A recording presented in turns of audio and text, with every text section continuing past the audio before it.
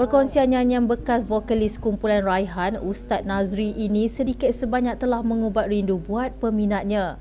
Apatah lagi populariti yang diraih lagu sesungguhnya 2019, nyanyian Raihan dan Alif Satar mengundang lagi kerinduan peminat terhadap vokal syahdu Ustaz Nazri. Video ini dirakamkan ketika beliau menyertai misi kemanusiaan di Sabah. Ustaz Nazri mengundur diri daripada Raihan pada 2006. Sesungguhnya Walau siram dengan air hujan dari tujuh langitmu. Namun cinta